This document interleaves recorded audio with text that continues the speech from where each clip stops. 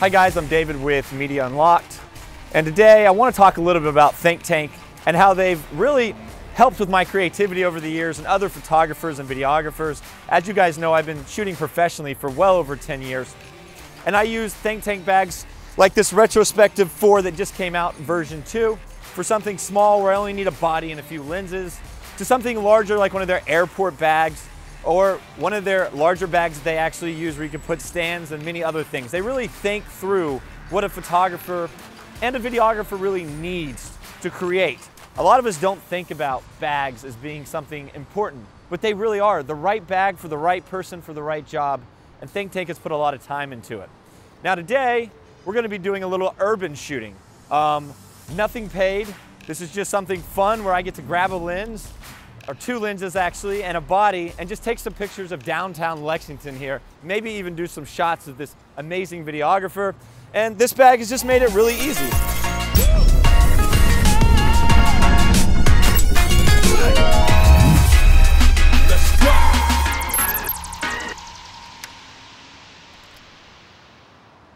One of the many things I really like about Think Tank bags in general is the ease and accessibility that they think about for photographers and videographers. So they are able to get their equipment out and get shooting as fast as possible. So like I said today, we're just doing some urban shots. I do not get to get out and shoot nearly as much as I'd like to just for fun. Urban and landscape are two of the things I don't make money at, but I absolutely love to do from time to time. So I've got my SD card in, I've got my battery in. So let me throw on this beautiful 85 that I have. And uh, let's get some cool pictures of Lexington and just kind of try to find cool little shots of Lexington.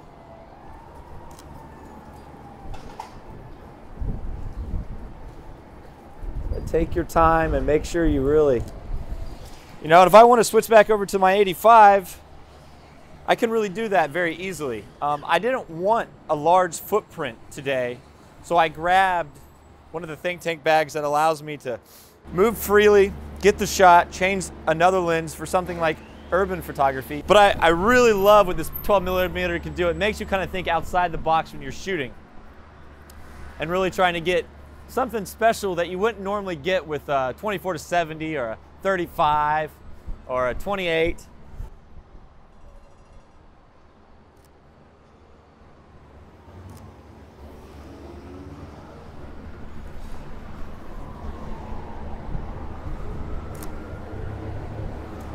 Use this building.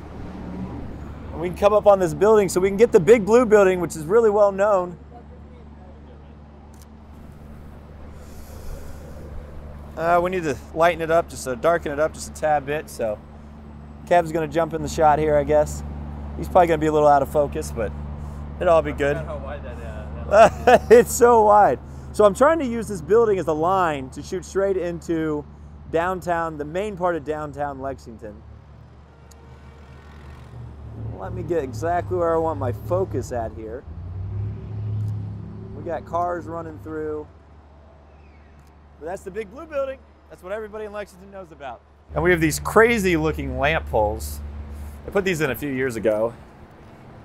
Let's see what we can get, see if we can do something cool with them.